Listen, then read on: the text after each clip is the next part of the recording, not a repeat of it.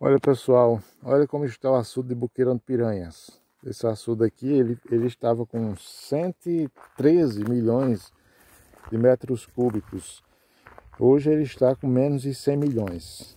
13 a 20 milhões foram desperdiçados. Um total chega a 100 milhões de água que saíram, que saiu desse açude esse ano. Ou seja, é, a transposição é, vai ser paga, o governo federal vai cobrar, mas ao mesmo tempo que infelizmente é, há um desperdício aí. Né? O inverno desse ano foi muito grande.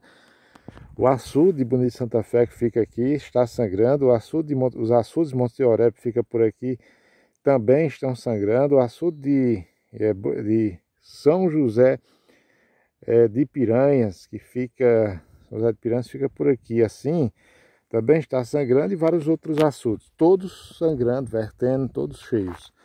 E lamentavelmente esse açude aqui, ele está aí seco. Não é, é que está seco, mas o açude tem capacidade para 293 milhões, lamentavelmente, né?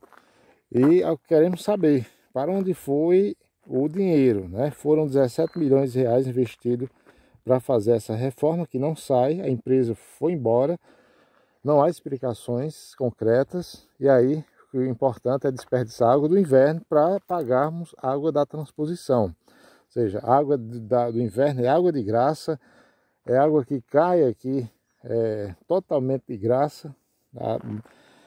aqui na região, mas é desperdiçada.